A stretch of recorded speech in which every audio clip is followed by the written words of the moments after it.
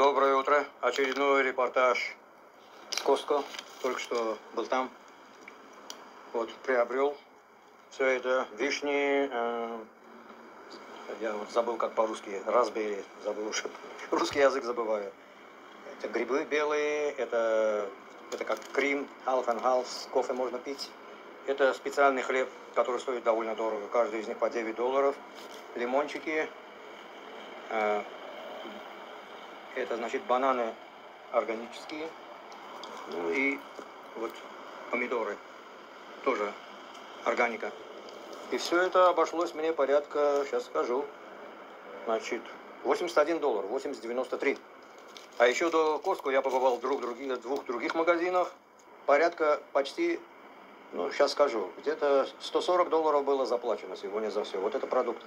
Конечно, это каждый день я это не делаю, но, как вы сами видите, э, цены выросли на все.